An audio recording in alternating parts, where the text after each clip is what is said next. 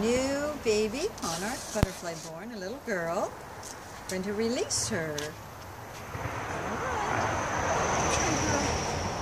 Beautiful. Here she is.